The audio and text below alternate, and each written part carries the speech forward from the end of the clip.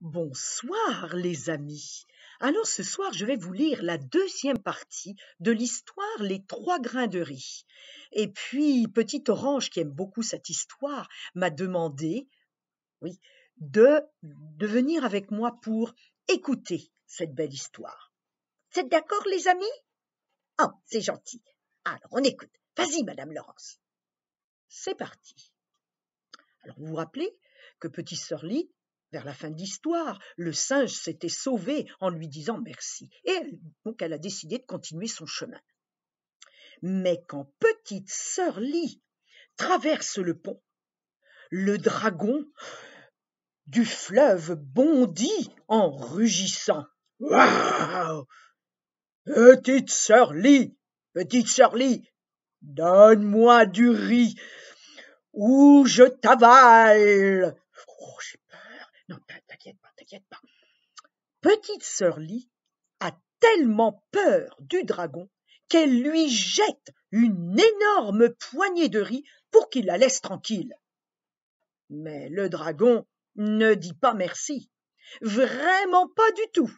Au contraire, il se fâche de plus belle et il rugit Petite Sorlie, tu te moques de moi. Une poignée ne suffit pas. Je veux tout en riz. Donne-le-moi. Oh là là là là là. Ah non, répond Petite Sorlie, tu exagères. Ce riz, je dois le vendre au marché.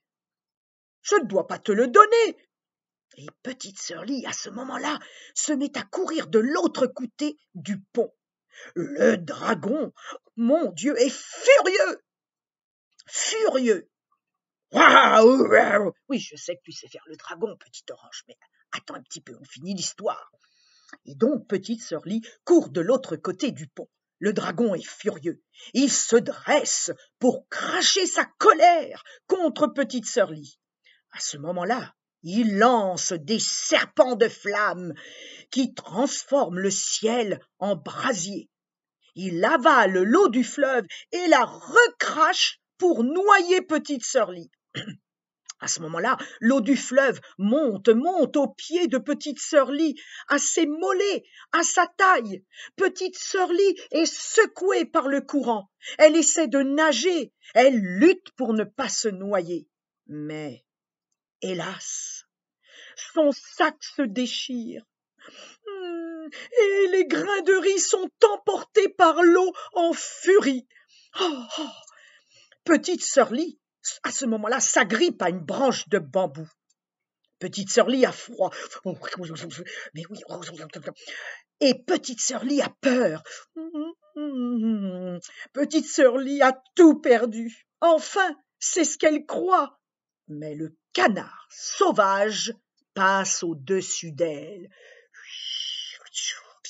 Petite sœur petite sœur pour toi j'ai gardé un petit grain de riz. Et il crache dans l'eau en chantant.